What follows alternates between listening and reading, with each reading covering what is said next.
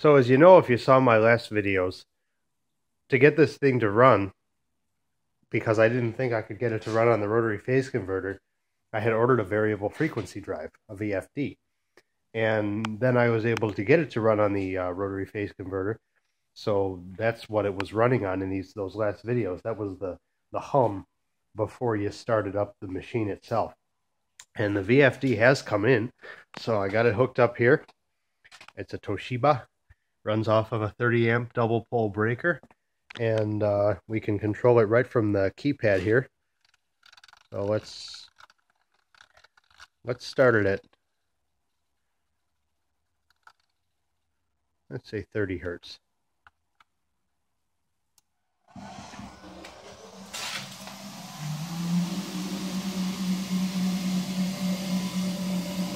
And that's it. It's it's running at what should be half speed now and it barely makes any sound at all.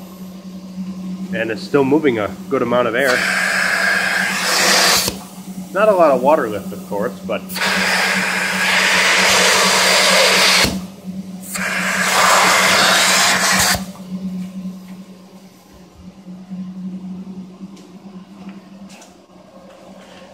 and then we can go up to 40 I was using it at 40 Hertz quite a bit to do some cleaning here in the garage. And uh, it still has this nice low purr to it. And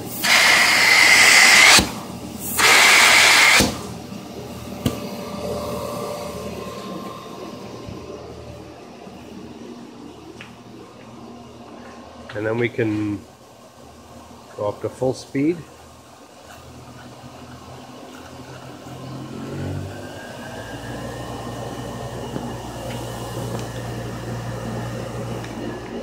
and we can stop it.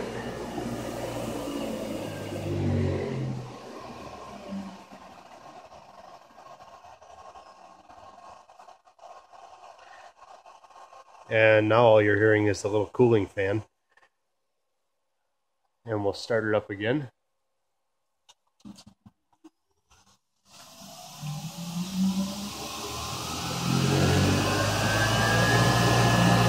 So it's running on full speed and that's that's just motor sound. And then if we open the inlet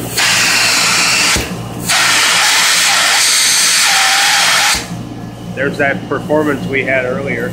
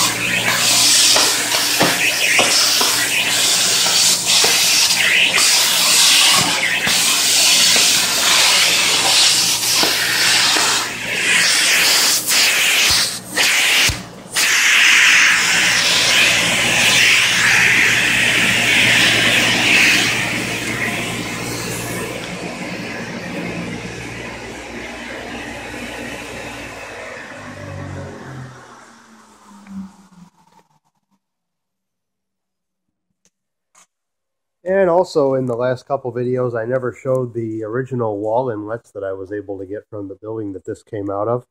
Uh, these, I, I, was able to get the paint off of them without messing up the nickel plating too much. You can see it's pretty, pretty well worn, but looks worse in the video than it actually is, I'm sure. These are all in pretty good shape. Some of them need new seals on the inside. Uh, you know, 90 years. 90 years of abuse and this is one of the switches that would actually turn the system on. And there was one next to the machine itself, and then I think there would have been one in each uh, janitor closet near the hose racks. But just a regular porcelain turn switch, like you see in early 1900s houses sometimes, would turn this entire beast on. And have a look inside here. this access plate was to clean the screen. Cyclonic doesn't use a cone to separate what was previously picked up from what's currently being picked up. It relies on the height of the separator tank to, to do that. And so inside there, go up and see the screen. Intake will be on the right side. And there's what we picked up. Actually, quite a bit in there. And uh,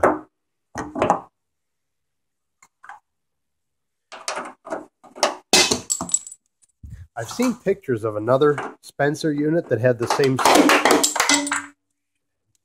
same stenciled uh, little notations on here. Clean screen every week.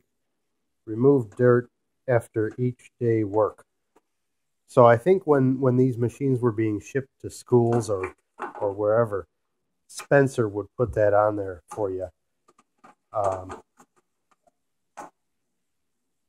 unless all the machines had it, I, I don't know. But anyway, those two wing nuts for that. And then to remove the dirt, you, you have these catches spring loaded.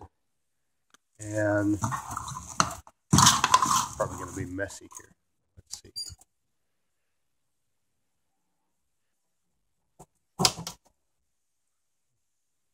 Oh yeah, you can see the the stratification of what we've been picking up. So it's a pretty nasty job to empty this out. Of course, you I guess put some uh, put a garbage bag around it and just shovel it out. Um, and this is the plate, the door. I had to get new gasket material for in here. This was all shot, but that wasn't so bad. Uh,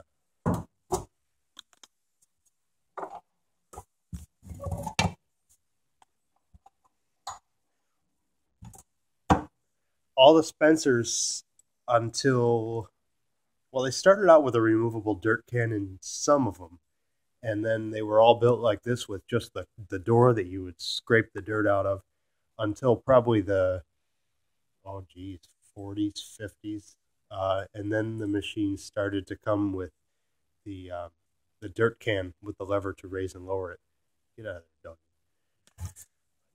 And that's it. Thanks for watching.